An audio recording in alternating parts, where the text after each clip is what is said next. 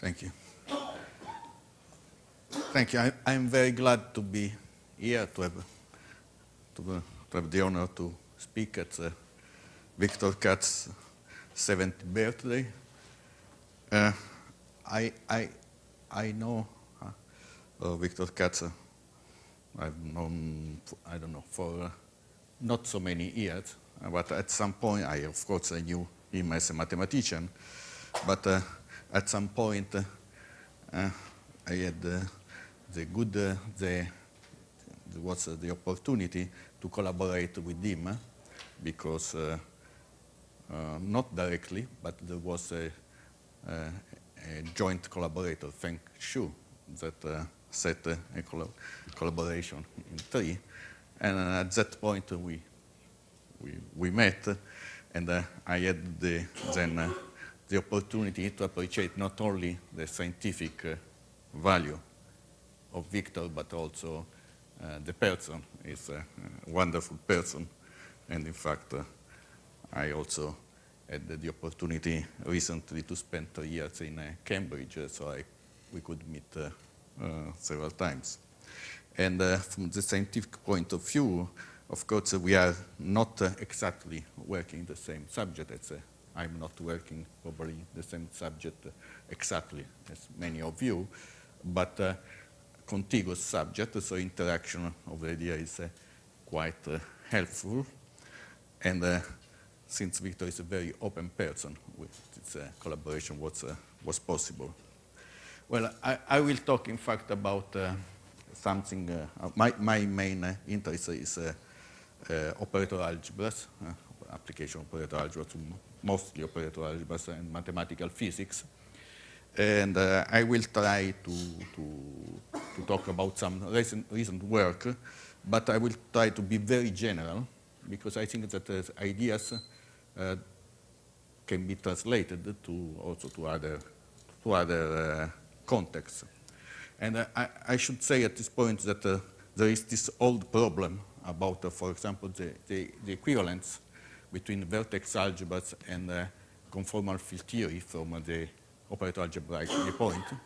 And at the point, there is no exact equivalence, but nevertheless, there is uh, one can transport idea from one field to the other, and this was successful.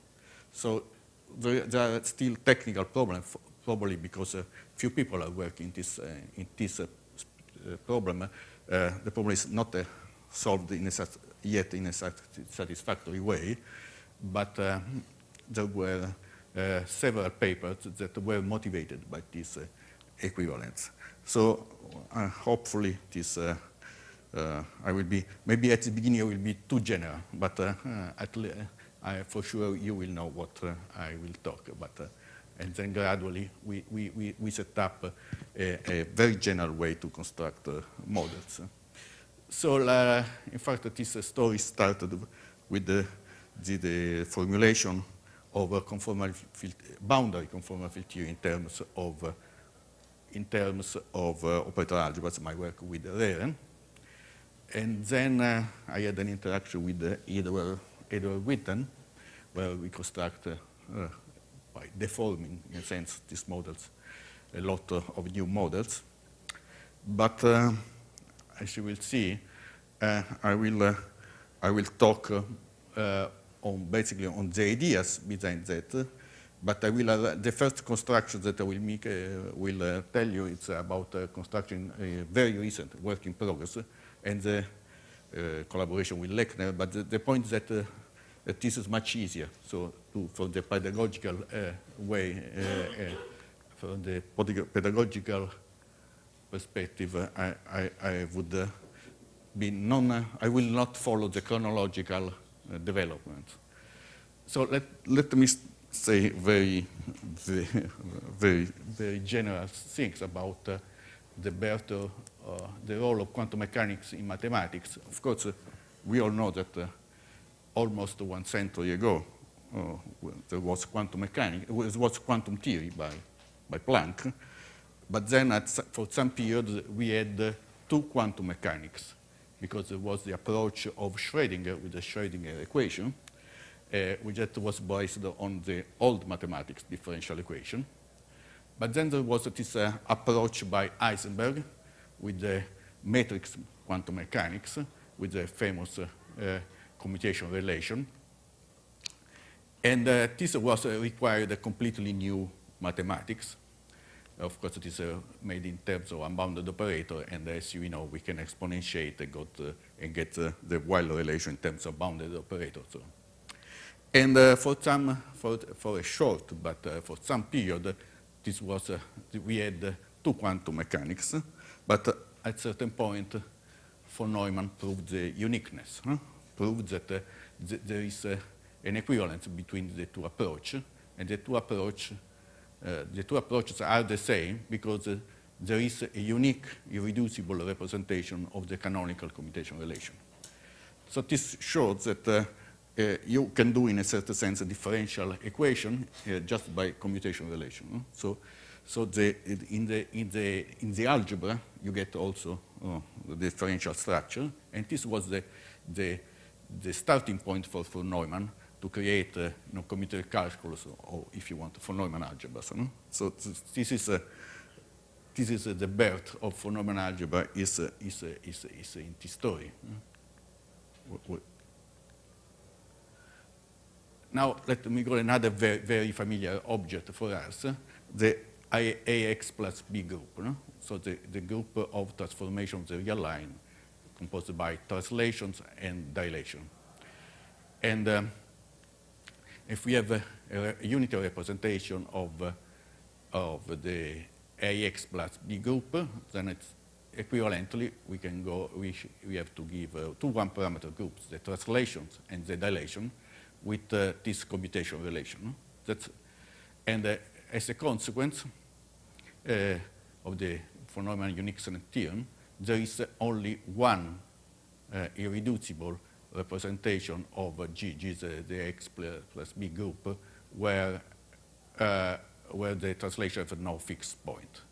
It is because the logarithm of, uh, of, uh, of the translation and the, and the generator of dilations, uh, the logarithm, they satisfy the um, canonical commutation relation. No? That's, uh,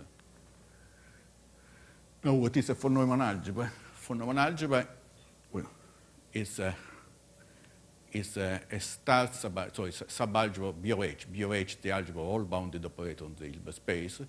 We consider the star algebra an algebra which is uh, uh, close with respect to taking a joint and uh, which is close in the weak topology.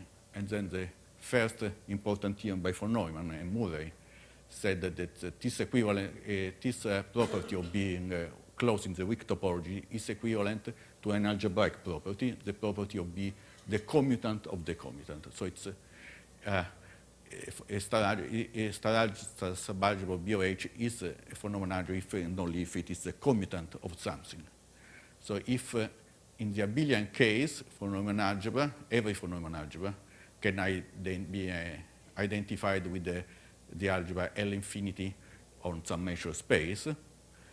So this means that when we are talking about von Neumann algebra, what we are doing is a non-commutative measure theory. And that, that's, uh, we should keep always in mind. So now fix uh, on the underlying Hilbert space a vector, and we say that a vector is cyclic if, uh, if we apply all operators in the von Neumann algebra to this vector, we get something dense. And separating if uh, one can embed the von Neumann algebra in the Hilbert space, so x to x comma in a one-to-one -one way. And these a dual property, the sense uh, a vector is cyclic for a von Neumann algebra if and only if it's separating for, for the commutant and conversely.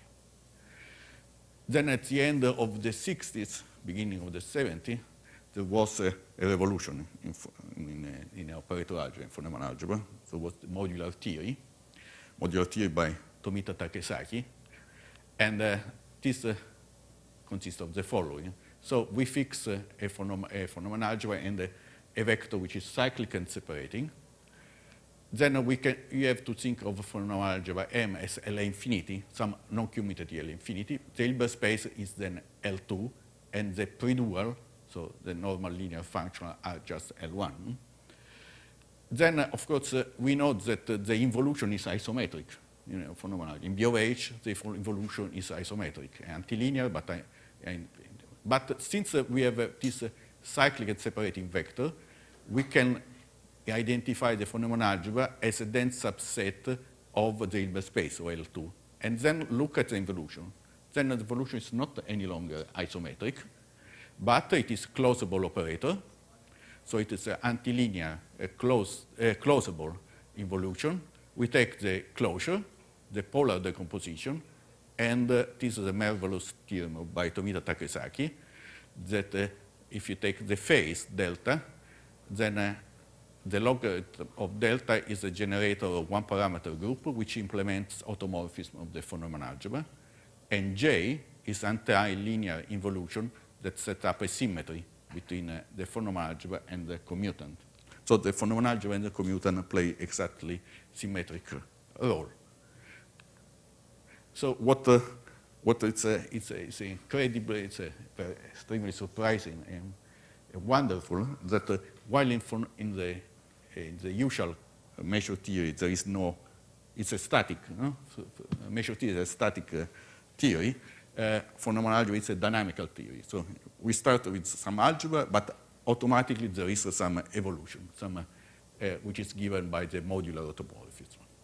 So it's, uh, it's uh, uh the commutative measure T is, is highly non-trivial and rich. In the, in the abelian case, we know that in the separable case, we have only one standard non-atomic space, Borel space, but here we have many. And from the beginning, it was realized that these modular groups are connected to physics because the, the modular group, so the group implemented by the modular operators here, is uh, satisfy a certain uh, property of analytic continuation, which is uh, establish uh, uh, the measure the deviation of uh, a state from the trace, and this was independently, but exactly at the same time, realized to be the condition that characterize thermal equilibrium states in statistical mechanics. Now, now let's look at another very, very familiar object, which is the Fock space of course, uh, we know that the Fock space is just, we start, if we start with the Hilbert space, we can construct the bosonic Fock space, the direct sum of uh, tensor power, symmetric tensor power of the Hilbert space. And these are generated by coherent vectors, so exponential vectors. And uh, we get uh, this uh, representation of the Weyl uh, algebra, the Weyl unitaries. Know? this, this is a very familiar fact. Now, if uh, we take uh, in the one particle space H a real linear space, then automatically we get a von Neumann algebra on the big, on the Fock uh, exponential space by taking just the von Neumann algebra generated by the Weyl operator uh, associated with the uh, vectors in, the, in this real Hilbert space. So we get this a, a, way to construct a von Neumann algebra. And then what is a first and second quantization. First quantization is uh, the, I can for, uh, formulate here for you in this way, so it's just a way to formulate a real Hilbert space associated to region of, uh, of the space-time uh, with certain property, locality, covariance, and so on. Second quantization is a, a way to associate von Neumann algebras to, uh, to regions of the space-time we just saying local covariance and so on. And, uh, but once you have uh, realized how to do first quantization, second quantization is just a functor. It's uh, the famous uh, sentence by uh, Edward Nelson, because if you want to find a map that associates the von Neumann algebra to regions of the space-time, you first associate a real Hilbert space, and then you second to quantize, which is just a functor. Mm. So we, we have to study real Hilbert spaces. No? Real Hilbert spaces, uh, you, you might think at the beginning it is a trivial structure. No? There is not much in a, in a, in a, uh, in a real uh, closed subspaces of a Hilbert space, but it's not true.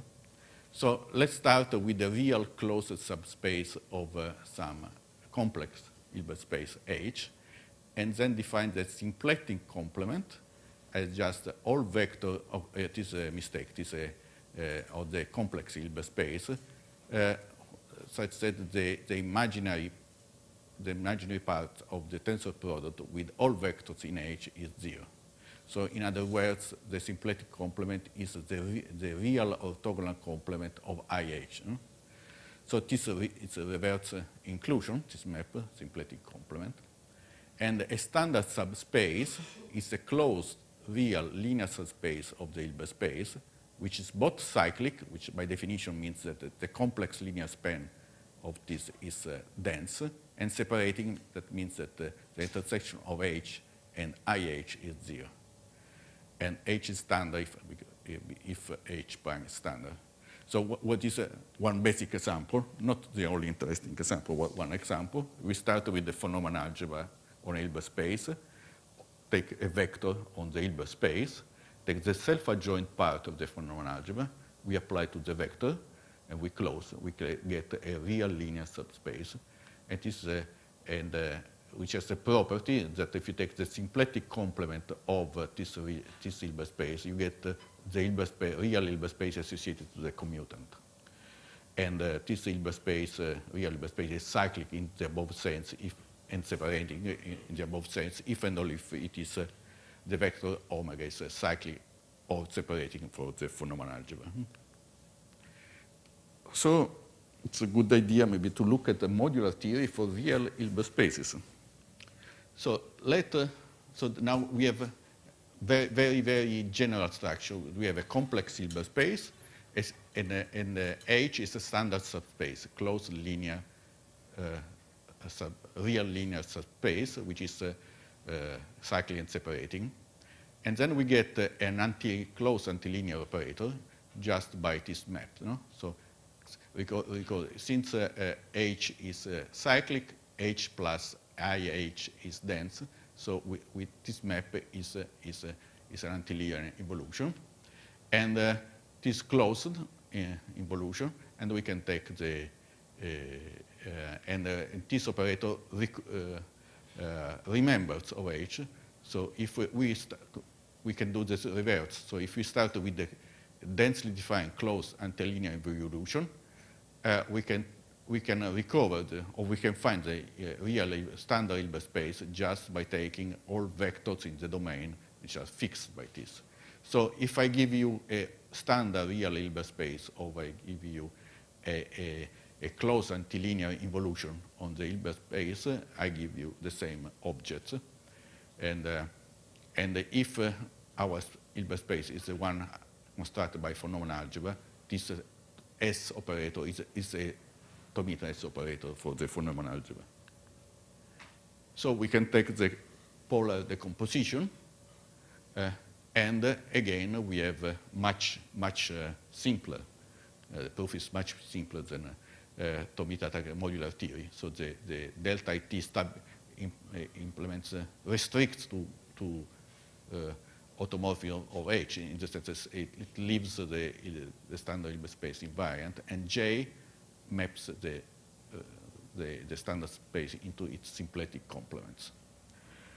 Now, in uh, uh, uh, about uh, 10 or 15 years ago, made a surprising theorem about Neumann algebra that uh, I, I, could uh, find an analog in, in this setting of of real Hilbert spaces.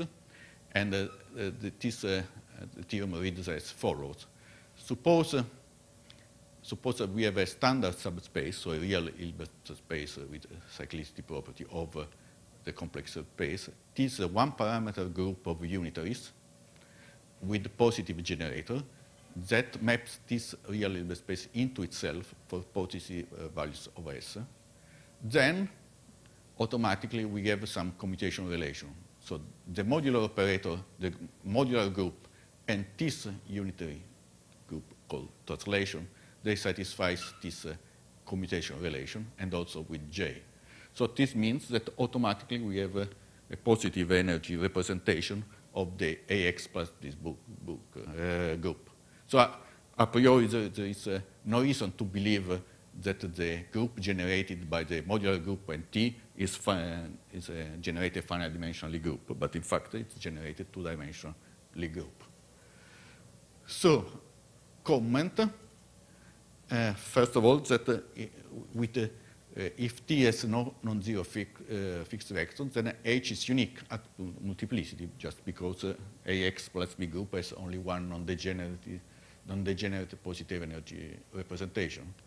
And second, we can reverse the procedure. So now forget about modular theory and everything, and start with the unitary positive energy representation of the AX plus B group, which is non-degenerate, and define H, the real space, just as a fixed point of S, where S is given by this. So J, uh, uh, I'm assuming that there is this evolution. It's, uh, uh it's, it's the full AX plus B group, also with the reflection.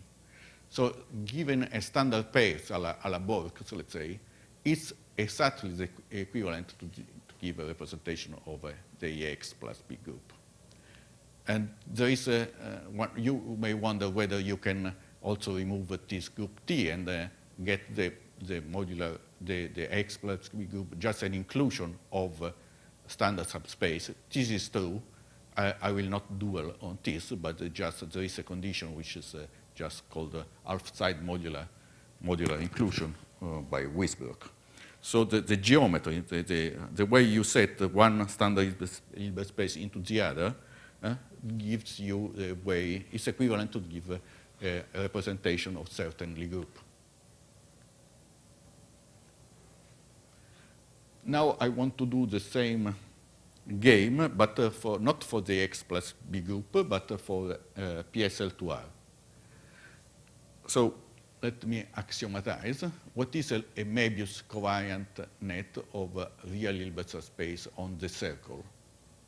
That's a, a map that associates to every interval of, uh, of uh, S1 a real uh, closed real uh, uh, subspace that satisfies this natural axiom. Isotony, larger interval gives larger real Hilbert space.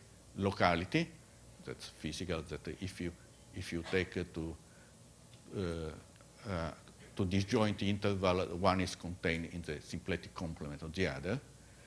And all this family is covariant in the sense uh, if, if, there is the representation of the Möbius group, uh, PSL2R, that uh, moves the Hilbert space in a covariant way, in geometric way, and that this uh, representation should have positive energy, and then irreducibility, which is a minimality of, of this, uh, of this family. You know? we, have to generate everything. Then uh, we have uh, soon some consequence. First, that, that, that every real uh, space, uh, real subspace is standard subspace. And so we can talk about modular theory. And in fact, one recovered that one sees that the modular, if one fixes an interval, the modular group of, uh, of the standard subspace associated to the interval is a geometric, is a one associated to a one parameter subgroup of the Möbius group that fix uh, that interval. No? So, so if you, for example, if you get the upper uh, half circle and you associate uh, with, um, and you identified with the positive real line by the stereographic projection. This, uh, this is just the dilation. And then uh, maximality, so in the sense that uh, actuality, that uh, uh, the, Hilbert, the, the subspace, standard subspace associated with an interval its complement are exactly one, the symplectic complement of the other. And again, we have the converse construction.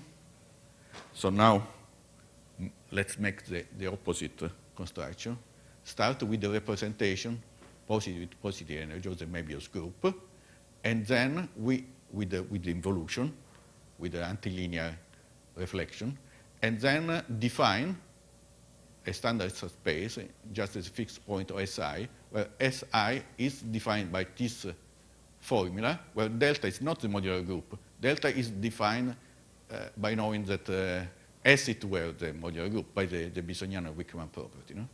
So we, we, we, make exactly the reverse.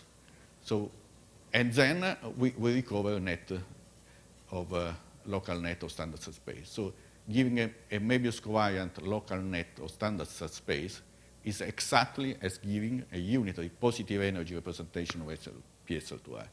So all the informations are a unitary representation of PSL2i.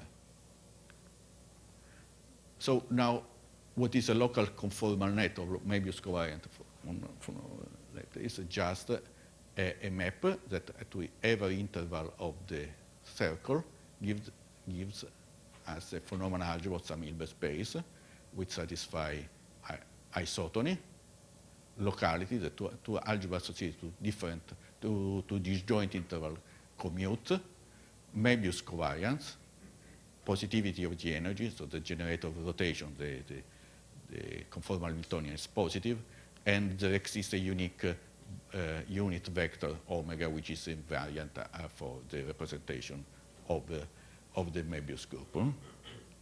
And again, we apply as a corollary what we have seen, we have uh, irreducibility, Schlieder property, and the, the Bisognano-Wichmann property. So the modular group is geometric. It's always the same, the same, uh, the same formula.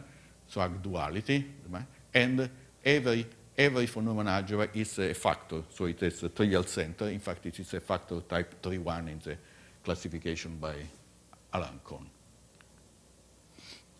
Now, now I have uh, to, to go back to an, another elementary uh, subject, uh, inner function. This is something that you find in uh, textbooks in uh, complex analysis.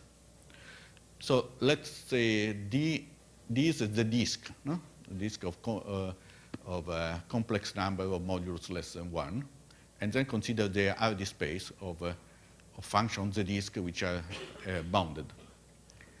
And then uh, we know that every such holomorphic function has a radial limit to the boundary and gives, a, a, a, and gives an L infinity function. So, and um, and uh, by definition, an inner function is a function on H infinity, so holomorphic on the disk, bounded, such that the, at the boundary it takes values of uh, modulus 1 almost, almost everywhere. So examples. Of course, the, the, the function z, but also Möbius transformation of the function z. So these are the function, this function is exactly 1, 0, or multiplicity 1. This at the point 0, at the point A. And then product, provided this product converges. And this is called the Blaschke product. And the condition for this product to converge is that this uh, series is uh, summable. Hmm? And uh, and this Blaschke product is at zero exactly at uh, the point an with the multiplicity. And uh, if, uh, if a function on the other end is not zero indeed, then it's called singular in a function. And uh, an inner function is a, always a product of, uh, of a Blaschke product and a singular function, which is this uh, integral expression, and some constant. And um, and the measure here is singular with respect to, to the uh, Lebesgue measure. And uh, what is important to note, uh, which is obvious, but uh, important to note, that the inner function for a multiplicative semigroups. So we can multiply inner function and get inner function. So we are interested in symmetric inner functions, so functions that uh, satisfy this condition. So this means the functions that are real on the real, on the real part of the disk. And uh, we can also transform by conformal, uh, conformal map. Uh, we can see symmetric inner function on the strip, imaginary part uh, between 0 and uh, pi, uh, or on the upper half lane. And which is important because if we look, for example, at the, the, the strip picture, then we recognize soon that uh, a, a, symmetric function is very, very close to the, what physicists call a scattering function. A scattering function is just a symmetric inner function with a Farter symmetry, which is, we can always symmetrize. And there is a, there is a, a researcher the subject in, in, in theoretical physics uh, called the inverse scattering problem. So to construct uh, quantum field theory model starting with a certain scattering matrix or scattering function. And we are, in this, we are working in this period. Now, um, now let me recall a, a classical theorem in, in analysis, the Beurling-Lax theorem. So uh, consider the Hilbert space H2 of this. So they are, they are the, the uh, function, holomorphic function on the disk, uh, such that on the boundary they give the, an L2 function. So they are the L2 function on the, on the, on the boundary of the disk uh, with the zero negative uh, Fourier modes. And one can construct the, uh, consider the shift operator. So every function fz go to the function zfz. And then Beurling in 1949 uh, uh, made proved the, the, theorem that a closed S-invariant subspace K on, of HD has always the form phi multiplied by H2. So where phi is an inner function. So there is a one-to-one -one correspondence between invariant S uh, subspace for S and uh, inner function. Uh, this is a uh, in, uh, let's say, uh, okay, this is not uh, important for us, uh, the general. This, he was motivated by because he wanted to factorize, factorize every fun an analytic function in terms of a, an inner function and an outer function. And this is an immediate corollary of this. But Lax generalized or, or made an analog of, the Beurling theorem, not for the disk, but for the upper half plane. And uh, the group is uh, the translation, so one parameter group. Uh, 10 years later. Now, suppose we have a, a standard pair, a la so let's say, so we have a, a standard, a, a, complex Hilbert space, a, re, a, real, closed real linear subspace, which is standard, and T, T is a one-parameter group uh, that uh, maps this standard subspace into itself for positive value of T. Then assume that this pair is reducible, and then, then, the following are equivalent. If uh, we have a unitary that uh, maps the standard subspace into itself and commute with translation, that uh, it's the same as saying that V is a function of uh, the generator translation. In fact, it is, uh, it is of the form uh, uh, of, uh, it's, a, it's a form of phi or q, where psi is a boundary value of a symmetric inner, fun symmetric inner function on, on, on the strip in this case. And the, such unitary form manifestly a semigroup, and what, uh, uh, what I, am saying that is a semigroup is naturally isomorphic to, to, to symmetric inner function of the strip. Hmm? So, so we have complete control of, uh, of uh, unitary. And, uh, and the fact one, as a corollary, one have, a, in fact, an analog of the Beurling-Lax theorem. So uh, suppose we have the same structure, standard space and one parameter group that maps the, the subspace in, in, in, into itself for positive value of the parameters. And we want to find the invariant subspace, K, K of H, which satisfy. And then the, the invariant subspace are exactly in correspondence with the inner symmetric inner function. So it's, it's a sort of a real, uh, real version of the Beurling-Lax uh, uh, theorem. Now let, us go to, to two-dimensional conformal field theory. Uh, so conformal field theory in uh, on the mm, one plus one dimension uh, Minkowski space-time, as we know, uh, as we know, uh, the, the, the stress operator, the stress energy tensor, as is symmetric and um, and traceless, and the component is 0, 0, the, two uh, the only two components that uh, survive by symmetries, uh, decompose into chiral components uh, that depends only on the chiral variable, the left and, and the right movers. And, and if, if we are in a conformal field theory, so the, this, and, we get Eh, the stress energy tensor plus relatively local fields. So it means that if we define the von Neumann algebra generated by the fields smeared with function in some region, the local algebra, then the, our structure is the following.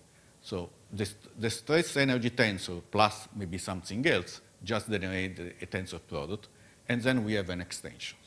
So the structure of, uh, from the algebraic point of view of conformal field theory is a tensor product of a chiral conformal field theory plus extension, and in good, uh, in the rational case, one can prove that this, uh, this extension is a, a finite Jones index. So understanding conformal field theory from the von Neumann algebra point of view means understanding chiral, so one-dimensional conformal field theory, and the Jones extension.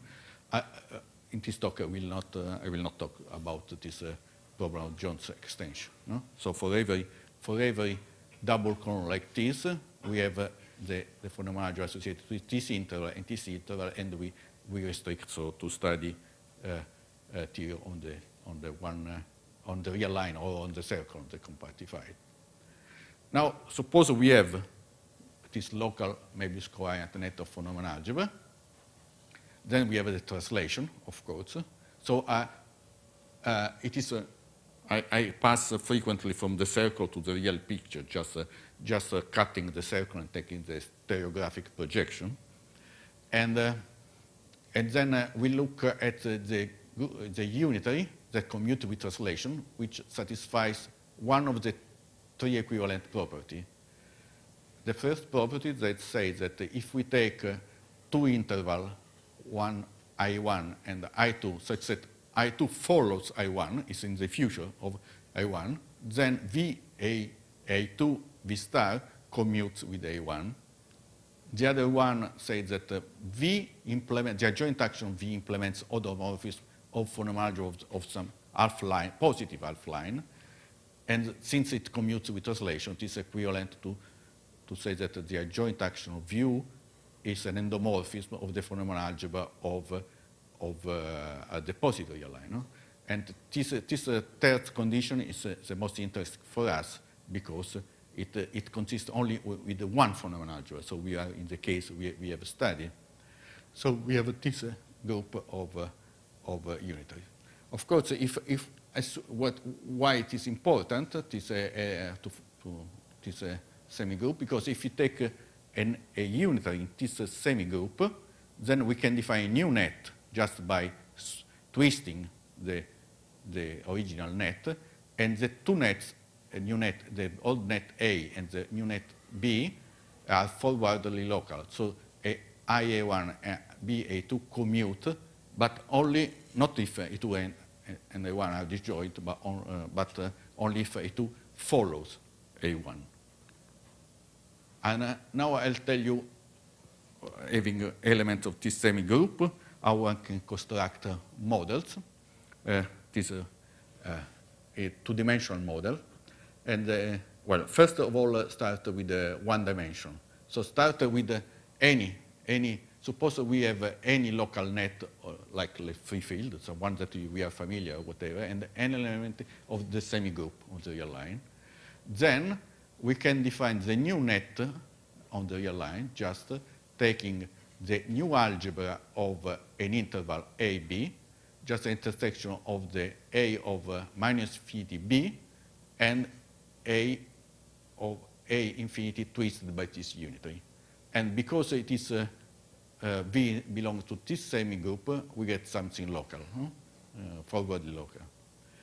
Uh, we get uh, something local. With, and um, and uh, for example, well, just to give just a first example, that uh, if we are in the free field case, AA, then we can find unity just second quantize elements uh, of uh, the of uh, one particle unitary in the in the semigroup uh, A, A of H. So we can find this in terms of uh, of inner function. So given any inner function, we get some model and uh, these models have, uh, have an interesting property. For example, uh, depending on the zeros of, of, of the okay, for, for, uh, for uh, singular inner function, then we get a trivial local algebras, but for Blaschke product, depending on the zero, the algebra is large, so cycling up, starting from a certain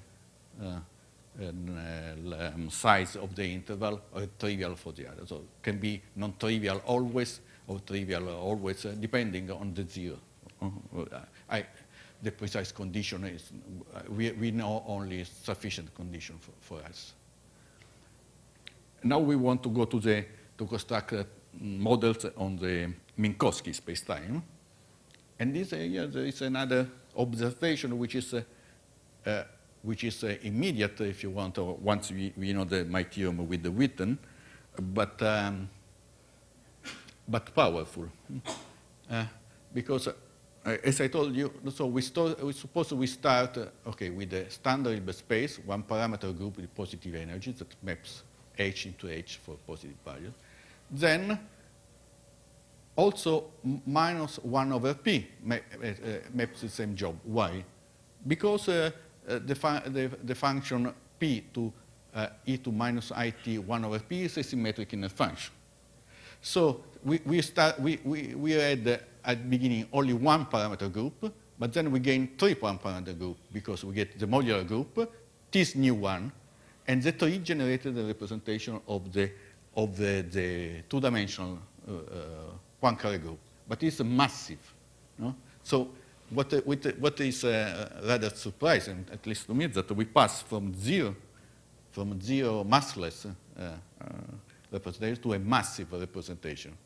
And converse, we can do the, uh, the converse. If we start with the reduce your positive energy or the positive energy and a massive representation of the two-dimensional Poincare group, then we can restrict on the light rays and get a representation of the AX plus group and uh, which is uh, irreducible.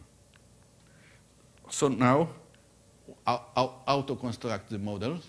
So the, if we, we, if we have uh, the algebra, or if we have a wedge, and, and, if you have a region like this, this is the intersection of a wedge like this, one, and and, and a left wedge like this.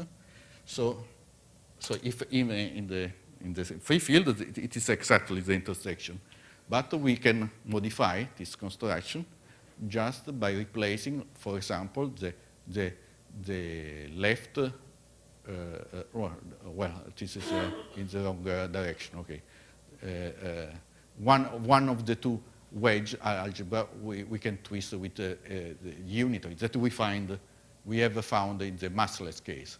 So in the, we realize the so uh, summing up, we realize that the two-dimensional free field just uh, with, on the Hilbert space of the one-dimensional massless L2R dp over p, and then we construct, we, we use this equivalence between uh, uh, massless one-dimensional and massive uh, two-dimensional, and uh, we transpose the unit in the, in the semi-group that uh, Ed Witten and me constructed, and, and then we construct a lot of, of models. Okay, this uh, is quite new, so it's an unfinished work. Uh, we shall see whether it will be as interesting as the original models uh, by Ed Witten and me.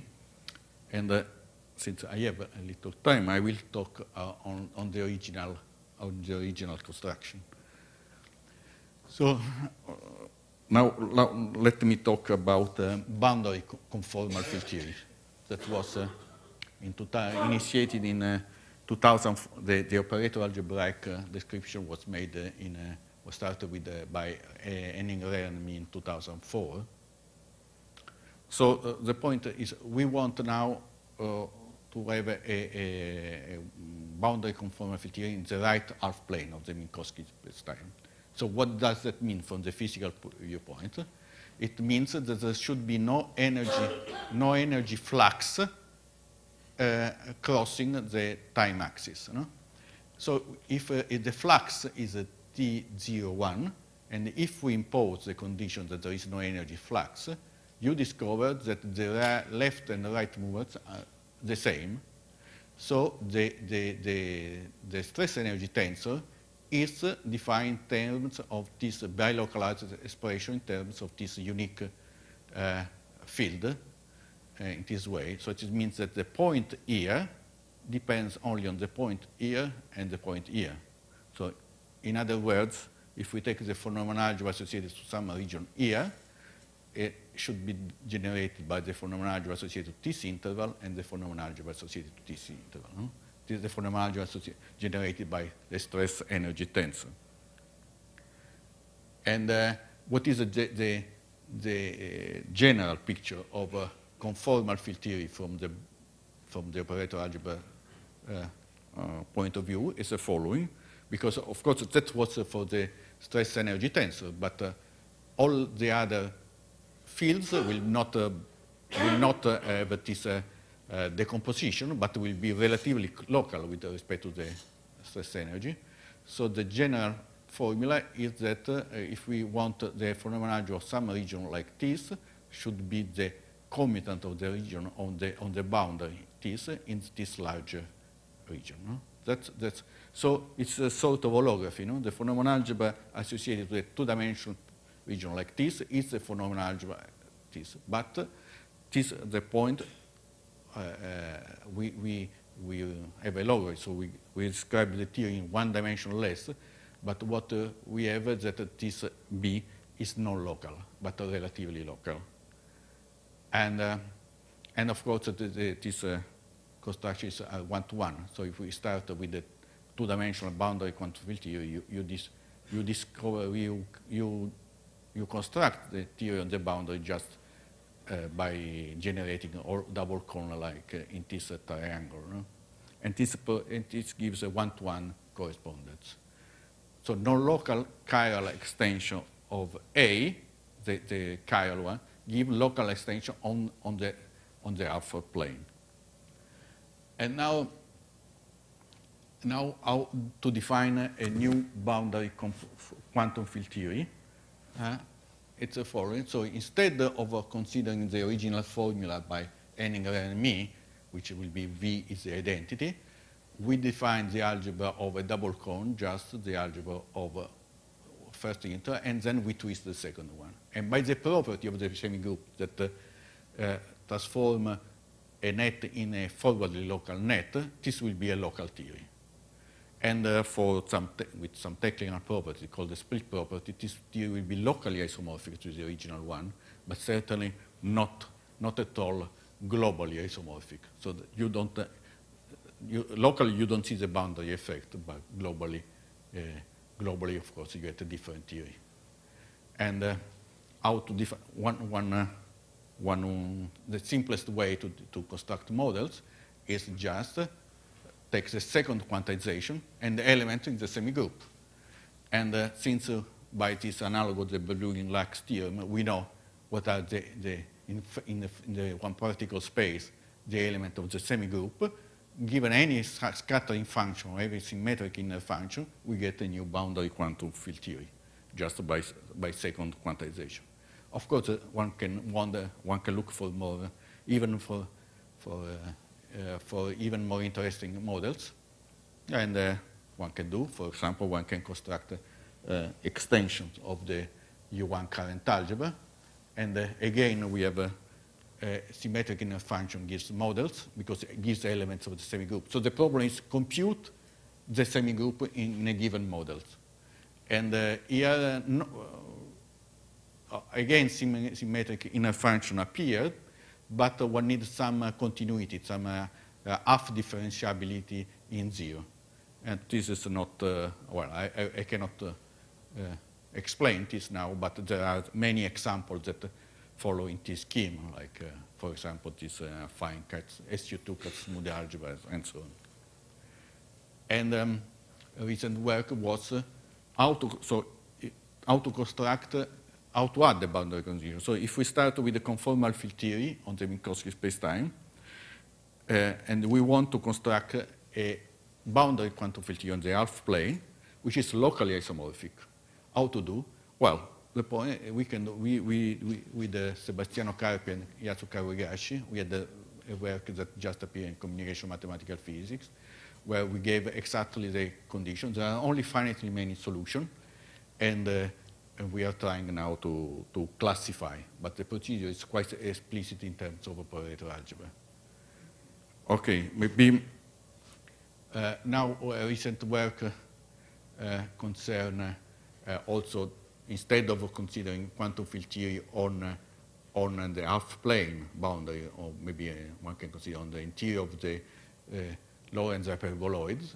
Uh, I will not uh, explain this, way, but this, this work is done, and what, uh, what uh, one, one, boundary field theory, conformal field theory in this place, but the, the, the, the, the point is that also uh, uh, in this case, symmetric inner function appear because one has a different semigroup, uh, but for some mystery, uh, already it's already isomorphic to the semigroup of a symmetric inner function.